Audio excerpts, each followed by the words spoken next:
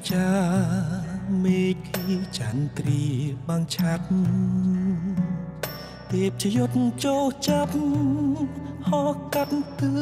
ទាំង8យប់ថ្ងៃអង្គា15កើតខែពេញបរមីទេវបុត្របរិយគុំរូបថ្ងៃចុះចាឧតោអ ង្គវរៈបង្គលយាងដល់កម្ពុជារត់អង្គអាចមកចត់ឥតក្បត់តស៊ូប្រឆាំងជាមួយនឹងខ្មាំងសត្រូវ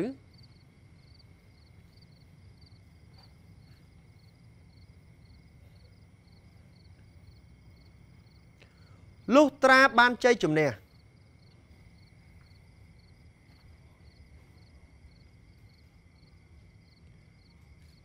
ត្រូវដណ្ដើមយកអំណាច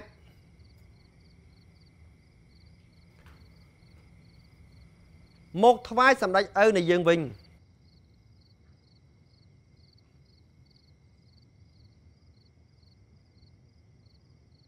ព្រោះមានតែសម្ដេចឪតែប៉ុណ្ណោះ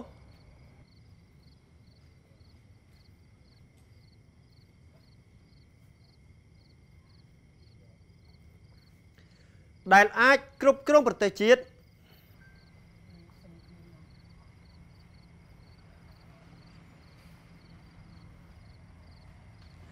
ឲ្យមានសុខសន្តិភាពបាន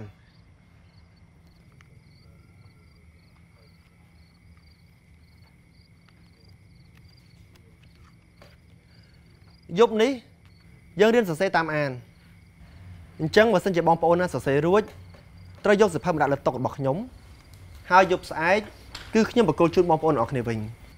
សរសេរហើយណាបងប្អូនហើយកុយផនសាន់អញ្ចឹងជួយប្រមូលផងបាទបងមកជួយហត់តាំងមក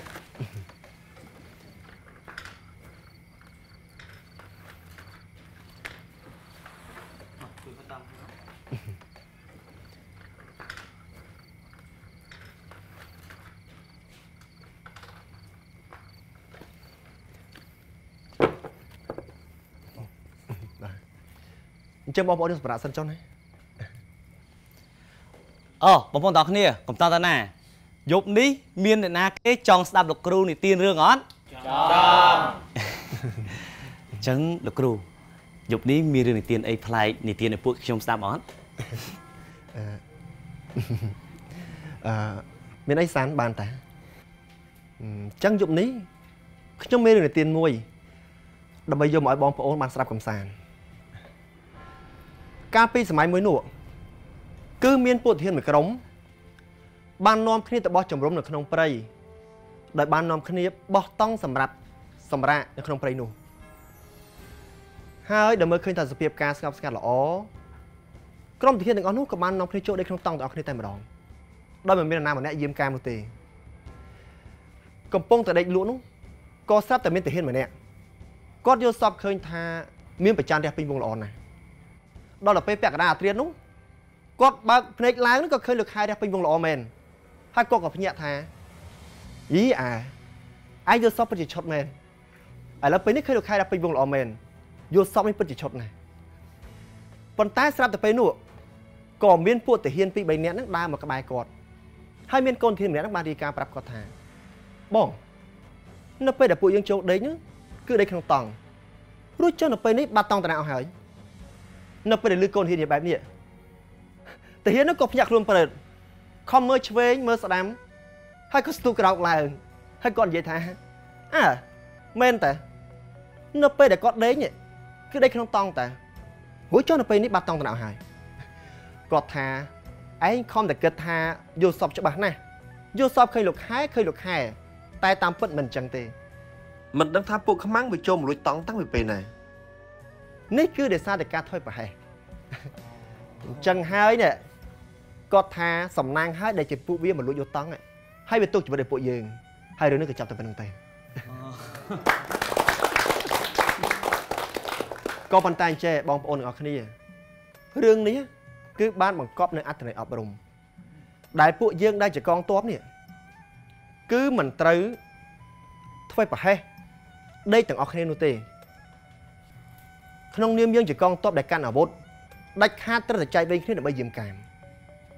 តោះនេះបងប្អូនអរគ្នាតាន់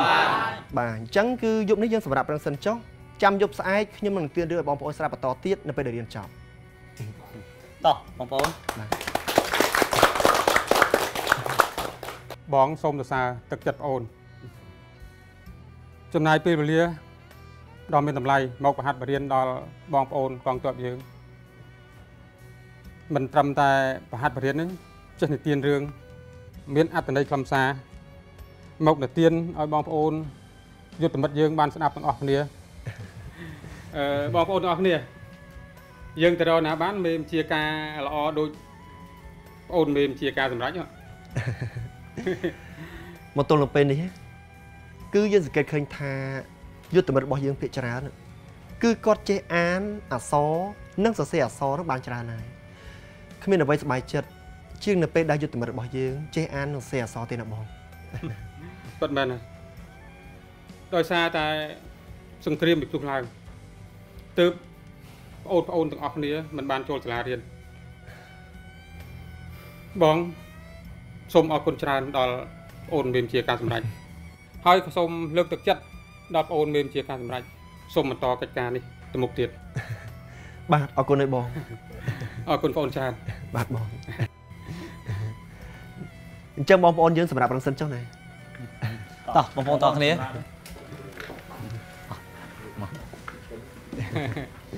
បាទបងល្អបង